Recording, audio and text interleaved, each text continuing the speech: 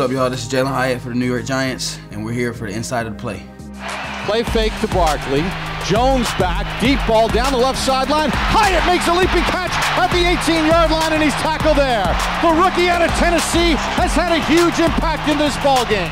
We have Slay in motion. He's going to run a end breaker to get around, and I'm gonna run almost like a V route, just like that. We just really leveraging the safety and seeing where his eyes at, trying to see what the corner is gonna do, see if he overlaps or if he stays with Slay. That's basically the read for DJ here. So when I was running at him, see how he already had his hips flipped.